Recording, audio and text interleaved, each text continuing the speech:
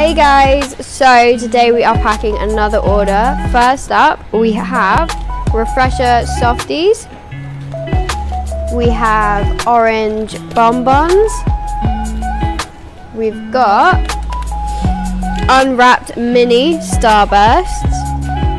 We have milk chews.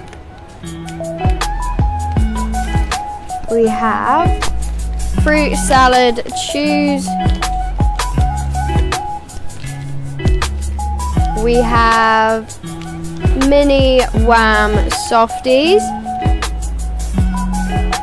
We've got original Skittles.